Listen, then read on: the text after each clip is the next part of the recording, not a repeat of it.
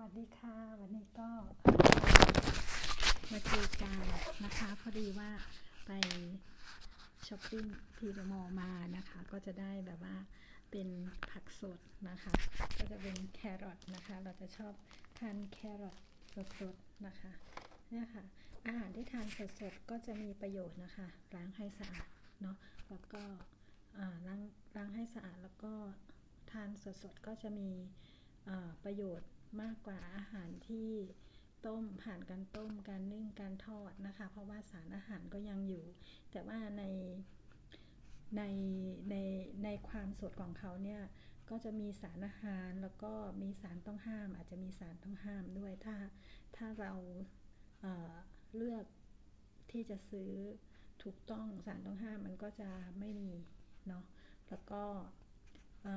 สดสดนี่มันก็จะเป็นพวกสีพวกอะไรเราก็จะดูไปด้วยนะคะว่าผักพวกสดพวกสีพวกอะไรเนี่ยคือ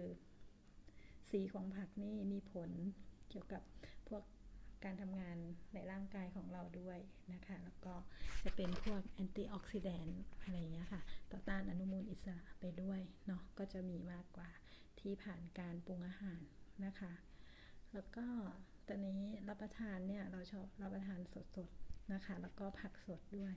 เนาะแล้วก็ได้ตัวนี้มาเป็นวุ้นวุ้นสีเนาะก็จะเป็นวุ้นสีนะคะตัวนี้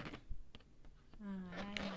เป็นแพ็ค60 บาท กินได้หลายวันเลย แช่ตู้เย็นเนาะก็หายไปนานนะคะ ก็ไม่ได้ลงคลิปตั้งนานนะคะพอดีติดธุระนอนโน่นนี่นั่น โอเค เดี๋ยวเจอกันคลิปหน้านะคะ วันนี้สวัสดีค่ะ